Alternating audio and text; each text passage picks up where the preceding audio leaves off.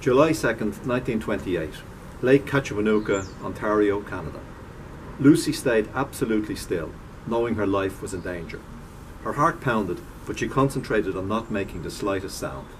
Instead, she squatted behind a stack of wooden crates in the deep shadows at the back of the boathouse.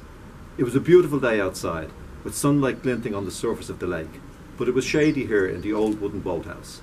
Despite the reedy, damp air, Lucy could feel a trickle of perspiration at the back of her neck.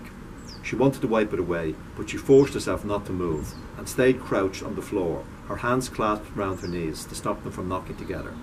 She listened to the two men who'd entered the boathouse.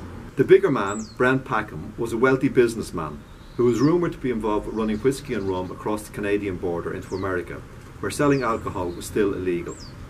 Smuggling liquor was a trade that involved gangsters, and Lucy had thought it would be exciting to sneak into the grounds and do a little snooping at the, on the lakeside estate that Brent Packham had rented for the summer.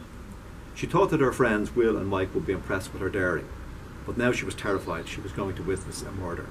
The house and grounds were north of the town of Lakefield, on the upper corner of Lake Katchewanooka, near where Lucy and her mother lived, on the Autonomy Reserve, with other members of the Ojibwa tribe.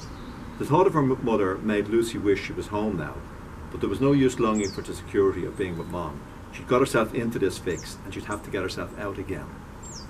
Now that she was 12, Lucy had been given the freedom to explore the nearby lakes in her canoe while painting and sketching.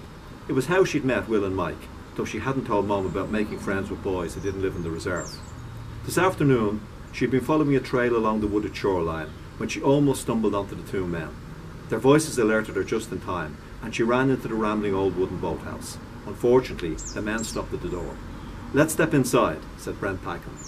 Lucy ducked behind a pile of wooden crates and held her breath. We won't be disturbed here, said Packham, entering the boathouse. Lucy peeked out. She was frightened of being found, but also curious about what was going on. Mr. Packham was said to have a shady past, but he owned a brewery and a transport company in the nearby city of Peterborough. He was a big, muscular man with oiled black hair, and although he dressed in fine clothes, almost to the point of being a dandy, there was still an air of threat about him, the sense of someone that it would be foolish to cross. The other man was slighter and less prosperous looking. I'm glad you came to see me, Jake, Packham said. Always better to iron out problems man to man. That's what I think too. So? So I think we should renegotiate. Each month we're shifting more whisky across the border, Mr. P, making you a fortune. So he was a smuggler, thought Lucy.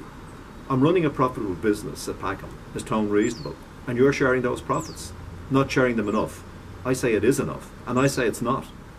Lucy listened intently, intrigued despite her nervousness. Then don't work for me, said Packham, his voice taking on a hard edge. The Varelli family are eager to expand. I can go to them. I'm your American partner. Using someone else, that would bring problems. So now you're threatening me, Jake, said Packham.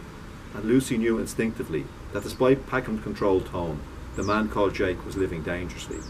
Just stating the facts, he said. Let me state a fact, said Packham. Lucy heard a quick rustle of clothes, then a sharp intake of breath. This is the Colt 45, said Packham, and I've used it before. How do you like that fact? Lucy bit her lip in fear. On the reserve, people hunted for food with rifles, but Lucy knew what a Colt pistol was and the kind of damage you could do at close range. Please, Brent, said Jake. I was just I was just negotiating. Really? Sounded like you were threatening my business. It wasn't personal, Jake, I swear. It was just just dealing. Threaten my business and you threaten me. I can't have it out there that Brent Packham can be threatened. No, Brent, please, we can work this out. No one needs to know. But I'd know, Jake. And you'd know. You'd know you threatened me and got away with it. I can't have that. Lucy felt her heart pounding as though it were going to explode. She thought of the words of her pastor, who said all it took for bad things to happen was for good people to do nothing. And if she did nothing, Brent Packham was going to kill another man. But if she stepped out of her hiding place and pleaded for Jake's life, what would happen then? A man who was willing to shoot his business partner, even if that partner was a gangster, might have no qualms about killing her as a witness, especially as she was a trespasser and from the Ojibwa Reserve.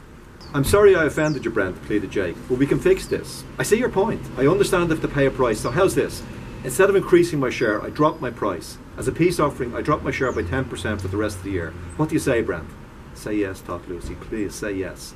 There was a pause, then Packham spoke. I don't think so, Jake. Threatening me was stupid and greedy. Worst of all, it was a betrayal. Bad move. Fatal move. Please, Brent, I'm sorry. Look, we, we'll make it 20. No, 25%. You'll never get a deal like this from the Varelli family. What do you say, Brent? 25% of a saving, and I swear I'll never let you down again. Lucy heard his trigger being cocked. Despite all her efforts to remain still, she flinched at the sound. To her horror, she realised she'd pushed backwards against the boathouse wall, which creaked. It wasn't a loud sound, but had Packham heard it? Lucy looked around in panic. There was a door in the rear wall of the boathouse. If she got it open now, maybe she could get out the back before Packham got to her. Or would that be suicidal? Was Packham likely to shoot her in the back as she tried to run away? Time seemed to stand still, and she struggled to control her panic. She looked at the door five or six feet away and listened intently to hear if Packham was coming. She tried to still her mind and think clearly. Run and maybe escape, but also maybe get shot. Or stay and risk discovery, but maybe get away with it. Suddenly, the decision was made for her, as Packham spoke, and Lucy realised that his attention was still focused on Jake. You were a two-bit hoodlum when I met you, said Packham. I gave you your break and you stabbed me in the back. No loyalty. In your heart of hearts, you're still a two-bit hoodlum. No, Brent. Yes, Brent, cried Packham, his voice raised. You're not worth a bullet. I won't waste one on you. Packham had raised his voice in anger for the first time, yet despite cocking the pistol, he was now saying he wouldn't shoot. Had he just wanted to terrify Jake to teach him a lesson? Lucy prayed that this was the case, and that the two men would leave the boathouse alive. But part of her felt that was too good to be true. Maybe Packham was lying about not wasting a bullet. Maybe he was playing cat and mouse with his victim while intending to shoot him in the end. Before Lucy could agonise any further, there was a flurry of movement and the sound of a sickening blow, immediately followed by a cry from Jake. Lucy heard him slump, moaning, to the ground. Then came the awful sound of three more heavy blows in swift succession, after which Jake moaned no further. Lucy remained completely still, crouched in the gloom of the boathouse, horrified by what she had heard, and terrified of being discovered.